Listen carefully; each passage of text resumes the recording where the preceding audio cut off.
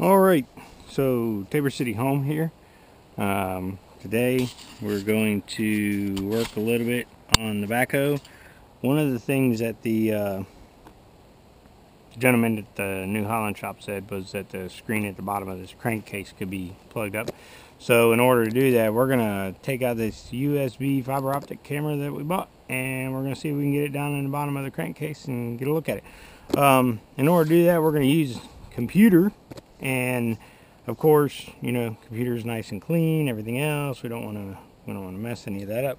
So one of the things we're going to do is use a little solution that in the past um, I've been able to use to keep electronics and things like that clean while you're using them uh, around vehicles that you're fixing and things like that. So we're going to get us some saran wrap here. We're going to get a good tear on that and we will go ahead and cover up this keyboard so we don't get this computer all dirty while we're working with this thing. So basically you just want to make sure that the entire face of the computer is covered. Um, don't forget about the mouse part of it because you're probably going to have to utilize that a little, a little bit as well. So get your saran wrap, get it pulled out, get you some duct tape. We got our nice friendly Kim tape, Kim tape here. So get you some duct tape. Ain't gonna, isn't gonna take a bunch. Just, just enough so that you got it tight. Doesn't have to be super tight. Make sure you've got, you know, it well covered. Um, once you apply that duct tape to this saran, this plastic wrap stuff, whatever, I think it's glad wrap. Once you uh, once you apply that duct tape to it, there isn't a whole lot of maneuvering. It's pretty much you apply it and you're kind of done. So we are gonna get this on here and get a good bite on that. Get tape down here. Again, we're not looking to make this thing waterproof. It's definitely not going to be waterproof. Um, but we are just trying to make sure that we can get this thing and use it without causing a big mess to our computer. Um, it's interesting. The guys in New Holland have been really, really excellent in answering questions. Uh, me back in the shop, talk to the guys back there.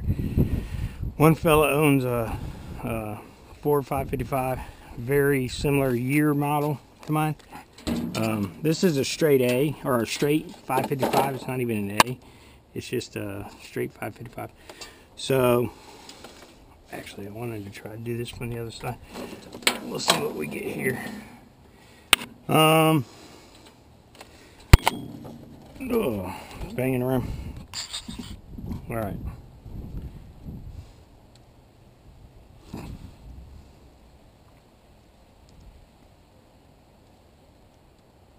We of course are going to edit that out.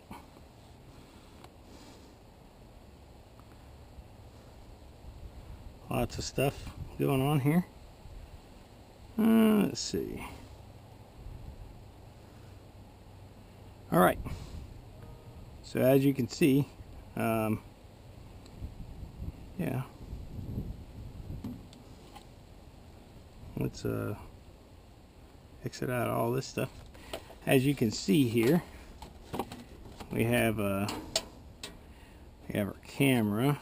I want to make sure they're oriented the right way. So this would pretty much be proper orientation. So we're going to take this little grippy here. Uh, this is a little tool that you can use to retrieve nuts, bolts, things like that that you drop. So we're going to try to get that about there. Alright. Start sticking this down in here.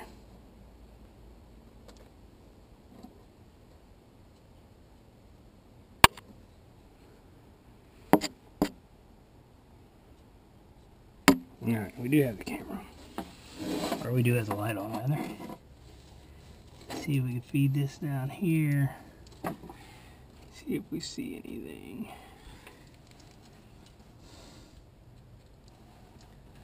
Um,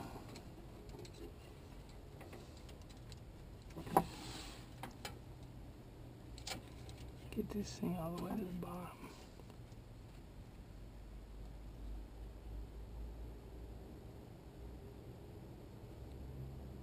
Um, as I would say, we can really see anything, so to speak.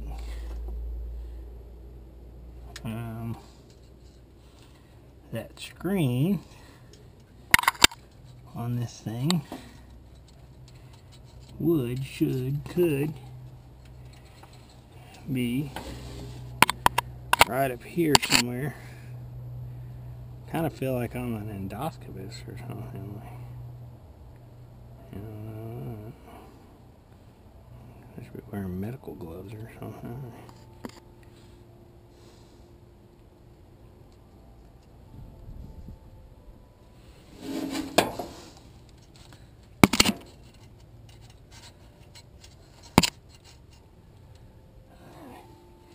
That's over there.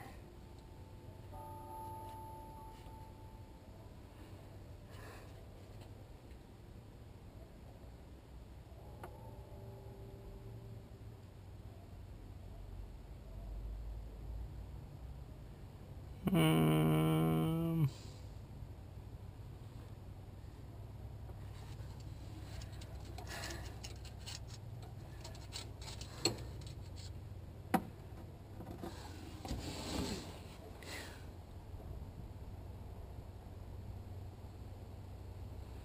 all right. See if we get a different travel route down in here.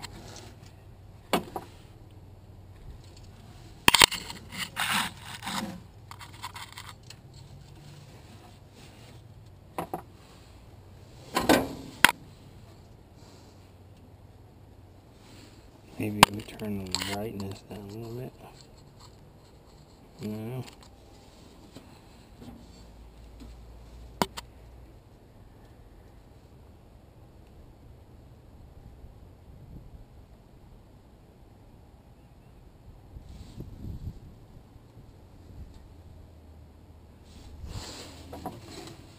And the way the light's shining,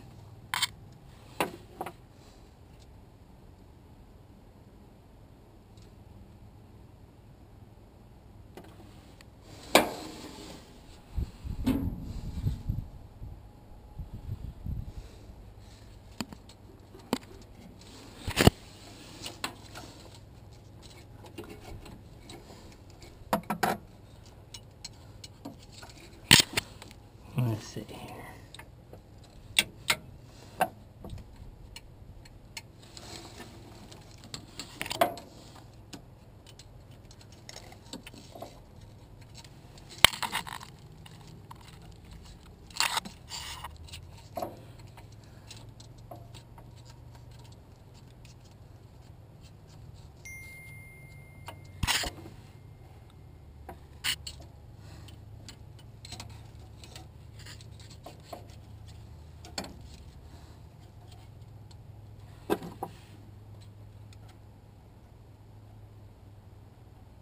Alright, let's try a different route on this.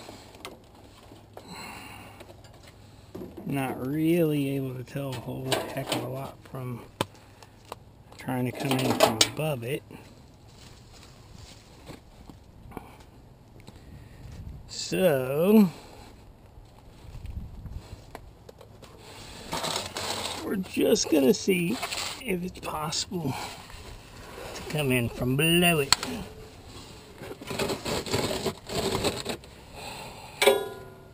So from everything I've seen, read, heard, that port should be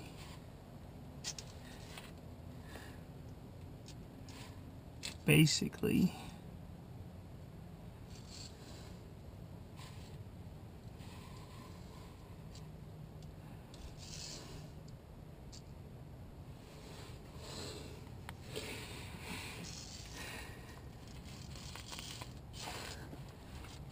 somewhere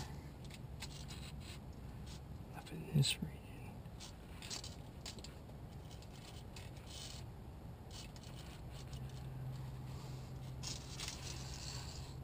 Alright, we're getting covered there. Ugh.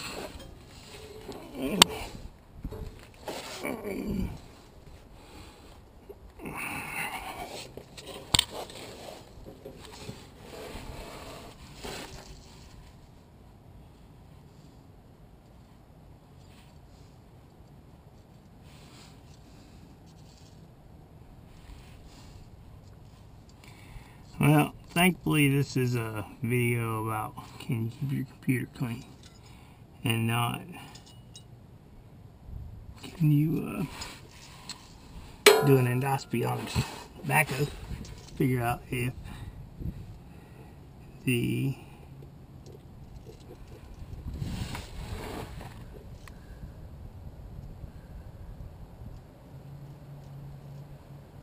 that would be a gear right there. And gear looks nice. I'm just saying. That's a good looking gear. Alright. So now we're going to try to see just what would happen. Try to just go with the camera.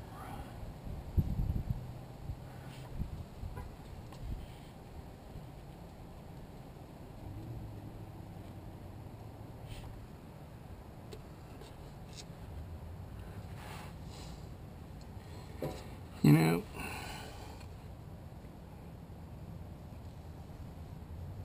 a little bit over a year ago, my mother passed away.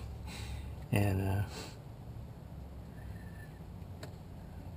there were a bunch of, my mother collected antiques and she had a bunch of antique tools at her house. And everybody asked me if I wanted all these antique tools. Um, you know, to their surprise, I said, heck no and they couldn't figure out why and I said I don't I don't get tools that I can't use. And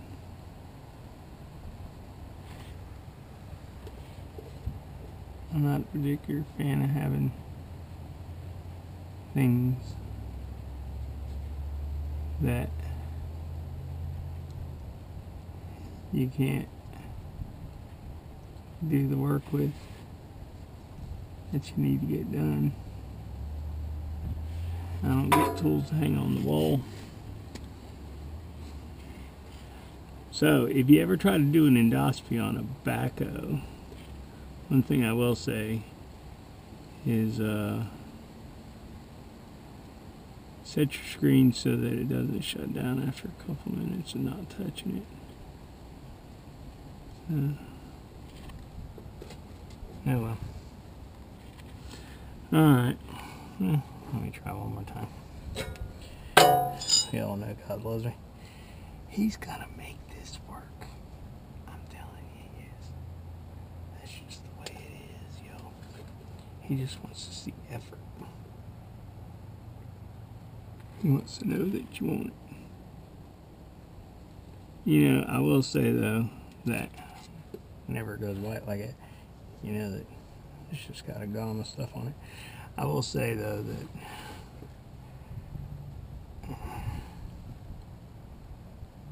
God does want to see effort. That is true that. But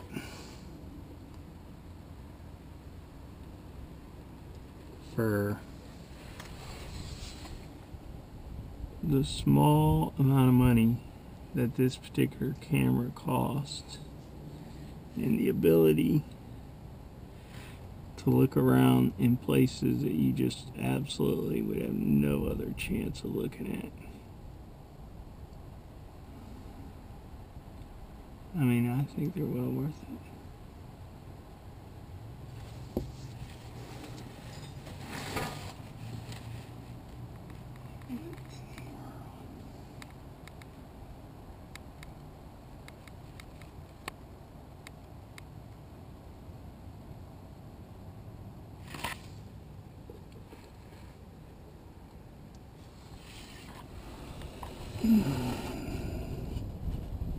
You know, you got a big head when your neck make when your neck starts to ache.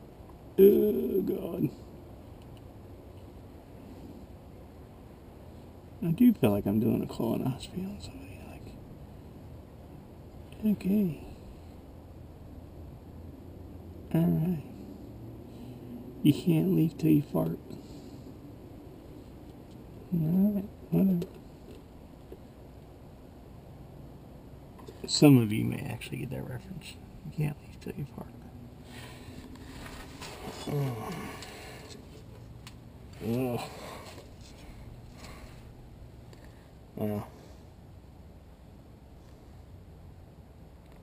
I will say that was worth a try. The the big reason that convinced me to give this a shot was that when um, when I first got the backhoe and the whole possibility of the screen being clogged presented itself.